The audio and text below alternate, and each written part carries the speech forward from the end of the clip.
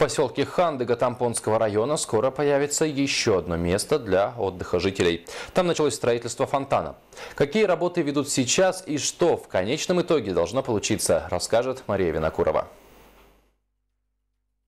Строительство объекта ведется за счет Хандекского поселкового бюджета. Подрядчиком выступила ИП «Манукян». Уже заключены два контракта на сумму 900 тысяч рублей. На эти деньги также планируется благоустроить территорию, прилегающую к фонтану. В этом году сейчас еще посчитаем и электричество, водоснабжение, и маленькое еще благоустройство по плитке, и дополнительно э, запрос котировок сделаем.